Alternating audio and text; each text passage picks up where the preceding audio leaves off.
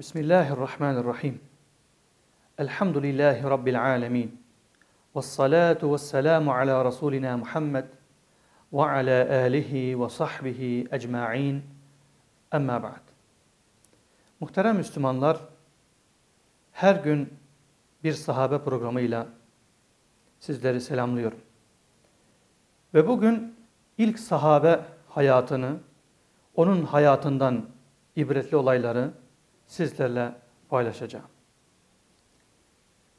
Bu sahabi Peygamber Efendimiz sallallahu aleyhi ve sellemin peygamberlikten önce ve peygamberlikten sonra dostu olan Ebu Bekir As-Sıddık radıyallahu anh'tır. Bu sahabi öyle bir sahabi ki putlara tapılan bir toplumda hiçbir zaman putlara tapmamıştır. Kendisi anlatıyor. Ben küçükken babam beni alıp putların yanına götürdü. Dini öğretmek için putların yanına götürdü ve putları birer birer bana tanıtıp bunlar bizim ilahımızdır dedi. Babam putların yanından çıkınca ben putlarla tek başıma kaldım ve onlara şöyle seslendim diyor Ebu Bekir radıyallahu anh. Bana yemek verebilir misiniz? Dedim. Cevap gelmedi. Yemek de gelmedi. Bana yardım edebilir misiniz dedim. Yardım da gelmedi. Cevap da gelmedi diyor Ebu Bekir radıyallahu anh. Bunun üzerine bir kaya alıp putlardan birine vurup odadan dışarı çıktım diyerekten hiçbir zaman putlara tapmadığını kendi diliyle bizlere söylüyor. Peygamber Efendimiz sallallahu aleyhi ve selleme vahiy gelip peygamber olduktan sonra bu vahye ilk icabet edenlerden olan Ebu Bekir radıyallahu anh'tır. İlk erkek Müslüman, yetişkin erkek Müslüman Ebu Bekir radıyallahu anh'tır. Öyle cömert bir sahabi ki Müslümanlara köle olan Müslümanlara eziyet edildiğinde onları satın alıp azat eden bir sahabi. Hatta bir gün babası ona Ey Ebu Bekir bu işi neden yapıyorsun? Madem köle alacaksın sonra azat edeceksin. Güçlü olanları seç ki sana yardımcı olsunlar diye buyurmuştur. Babası ona öyle demiştir. Bunun üzerine Ebu Bekir radıyallahu an babasına şöyle cevap veriyor. Ey babacığım ben bu kişileri sadece ve sadece Allah rızası için azat ediyorum. Bana yardımcı olsunlar diye değil. Ve bunun üzerine Allah Azze ve Celle şu ayeti kerimeleri nazil buyuruyor. Temizlenmek için malını hayra veren en muttaki kimse o ateşten uzak tutulacaktır. O hiç kimseden karşılık beklemeyerek iyilik yapan kişidir. Bu ayette de onun niyetini Allah Azze ve Celle diğer Müslümanlara göstermiştir. Ebu Bekir radıyallahu anh'ın hayatından başka alacağımız örnek, onun cesareti, peygamber sevgisi ve Müslümanlara örnek olacak İslam'ı koruma tavrıdır. Bir defasında müşrikler Kabe etrafında Peygamber Efendimiz sallallahu aleyhi ve selleme eziyet ediyorlarmış.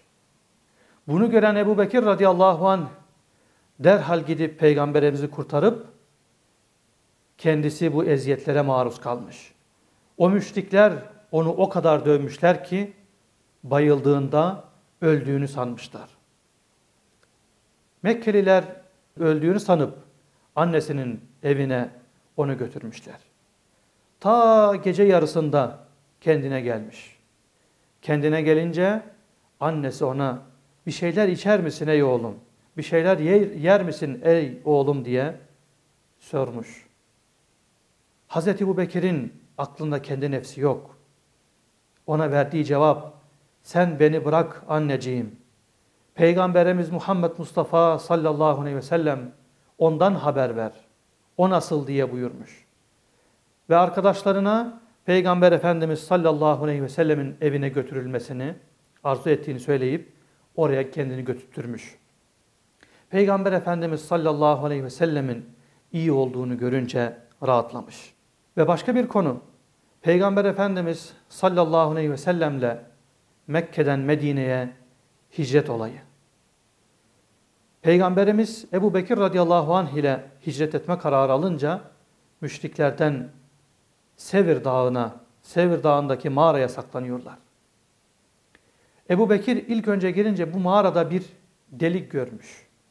Bu delikten yılan çıkar, akrep çıkar, peygamberimiz sokar diye ayağı ile o deliği kapatmış.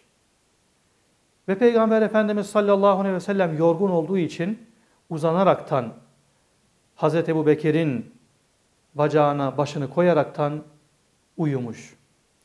Derken o delikten çıkan bir yılan Ebu Bekir radıyallahu anh'ı sokmuş. O kadar canı acımış ki ama kendini tutmuş. Peygamber Efendimiz sallallahu aleyhi ve sellem uyanmasın diye bağırmamış. Can acısından gözünden yaş gelmiş. O yaşlar Peygamber Efendimiz sallallahu aleyhi ve sellemin yüzüne akınca Peygamberimiz uyanmış. Ne oldu ey Ebu Bekir diye sorunca bir şey yok ya Resulallah demiş. Peygamberimiz ısrarla sorunca delikten çıkan bir yılan beni soktu deyince Peygamber Efendimiz sallallahu aleyhi ve sellem mübarek tükürüğüyle orayı tükürükleyip şifa bulmuştur. Sonra Medine hicretinde biliyorsunuz Peygamber Efendimiz sallallahu aleyhi ve sellem hastalanınca kendi yerine Hazreti Ebu Bekir'i bırakmış.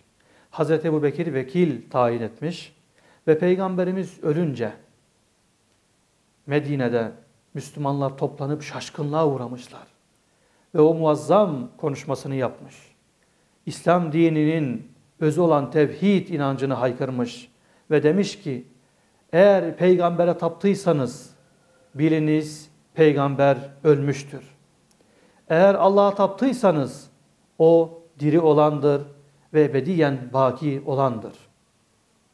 Ve peygamberin vefatından sonra kendisi Müslümanların halifesi yani Medine devletinin yöneticisi olmuştur.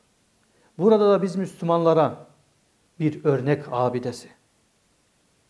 Geceleri sokaklarda dolaşıp Müslümanların, yönettiği kişilerin hal hatırını soran birisi. Fakirlere daima yardım eden birisi. Hatta rivayet olunur fakirlerin, güçsüzlerin hayvanlarını sağıp onlara süt ikram edermiş. Çünkü kendileri yaşlı oldukları için bu işi başaramazmışlar. Hatta her sabah namazı sonrası bir yaşlı kadının evine gidip onun evini süpürüp ekmeğini, yemeğini hazırlarmış. İşte Ebu Bekir radıyallahu anh İslam davetinde, İslam davasında, İslam'a hizmette biz günümüz Müslümanlarına güzel bir örnek. Rabbim cümlemizi onun örnekliğinden nasibini alanlardan eylesin. Bizleri cennette Ebu Bekir radıyallahu anh ile bir araya getirsin inşallah. Velhamdülillahi Rabbil alemin.